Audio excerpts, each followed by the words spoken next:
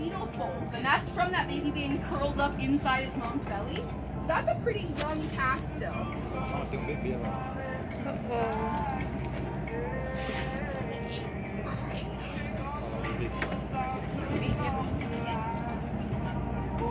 Oh, that's it. Oh.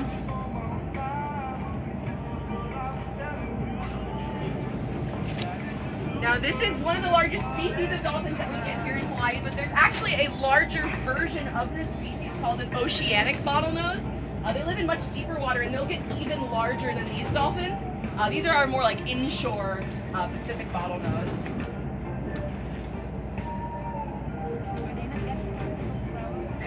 So the propellers all the way in the back, um, they're Uh-oh. pretty intelligent. They've been around boats for most of their life, and so they kind of know now how to navigate your phone on video. Yeah. You'll be more likely to catch a shot of it.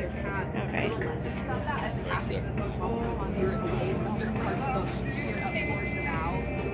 It's Two juveniles. Yeah.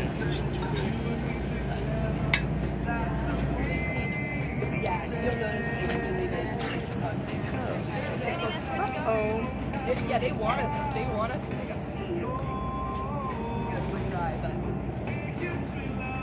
Now here at Pacific Whale Foundation, we're called the Dolphin Smart.